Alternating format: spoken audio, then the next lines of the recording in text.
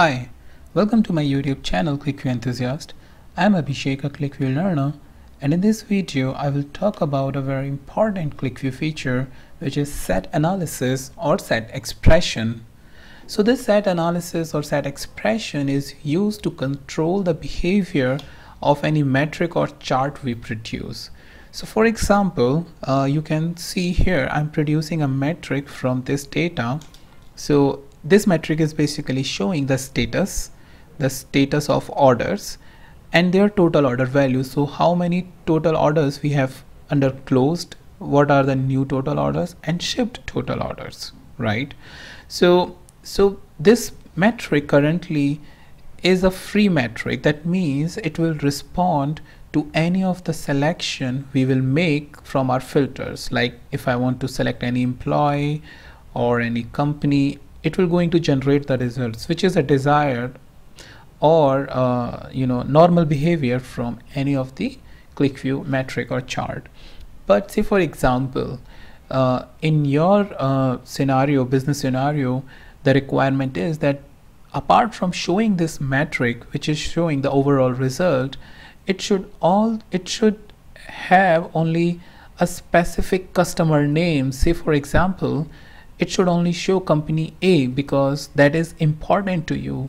So apart from showing all the results, you should also have a metric which is specific to com company A.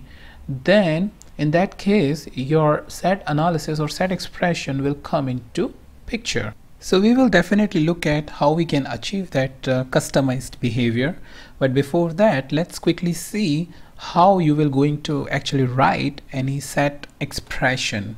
So here in this text object I have shown you generally how you normally write any expression the sum of order total or count of order total or anything you know generally you write.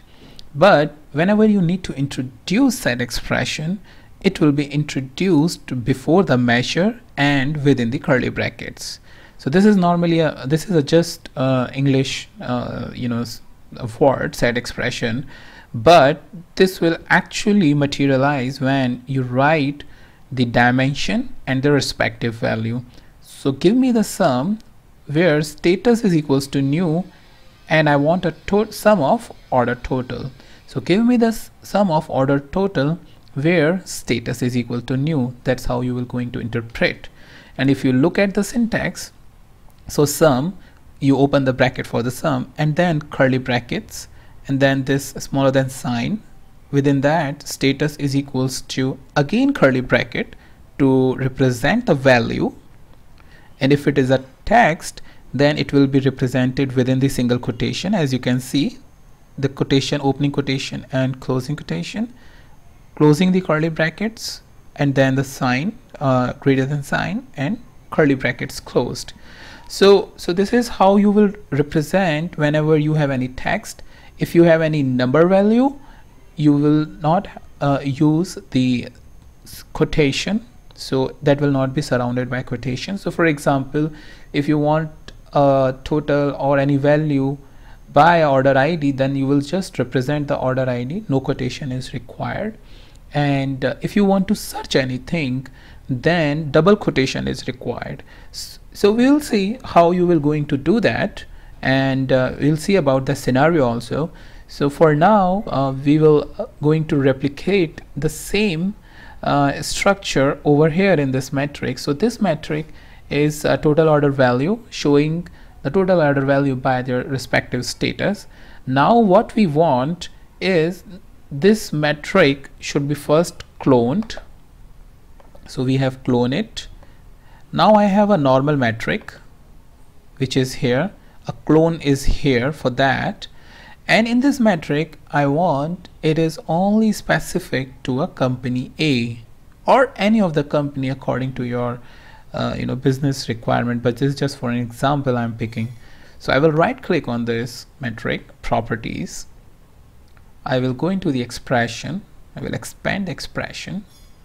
And I will say I will open the curly brackets and then the sign smaller than greater than. And within that I will first write the dimension. So dimension is customer name is equals to within the bracket. Because I will have a text I am opening and closing quotation. And then the name company A alright? So now what we are saying here give me the sum of order total for the company A. And I will click OK. Apply. And OK. So now you can see this metric is completely changed. It is only showing me the status new and the respective value. However this value this metric where I don't have the set expression it is not you know customized and showing me all the results uh, related to this data and the next thing we will be observing is that this metric will not change its behavior based on our selection of this dimension because we have fixed or customized this metric for company A. So if I select any company, you see that result is not changed, but result is changed here, the value is changed here, here also it has changed according to general QlikView rules. So if I select any other value, you know everything will reflect because no restriction we have no we have not put any restriction over there. But since the restriction is only on this table that's why you know there is no change. So if I select company A the to the status is only new and the total order value is 2410 so we clearly see when we audit it that okay the status is new so this is good and the total order value is 1674.75 plus 736 which will eventually result into 2410.75 right? So this is how you know you can see flexible the QlikView is in doing such analysis where you know your business really want any customization you can say yes I can produce it very quickly by you know using the set expressions. Now uh, let's uh, let's extend our uh, set expression. So if I uh, so currently we have this metric customized by a company A but if I look at the shipping fee or say for example order ID is 44 and 71 so this is not a very good example. So let me just quickly say here and see my data. Say for example uh, what we now want to introduce is we want to know all those orders value where shipping fee is 200 because that seems to be very high and we want to know what is that shipping uh, so shipping fee where amount is 200 we want to know those orders by their status. So for that so idea here is how we will going to write the numeric value. So we have already seen text value. Now let's quickly remove what we have wrote earlier. And within that now we will write shipping fee is equals to 200 and now you can see uh, I'm not using any single quotation right? So everything is good no problem expression is okay. I will click OK. And you can see the status is closed for uh, wherever the value is 200 and the total order value is 4883 right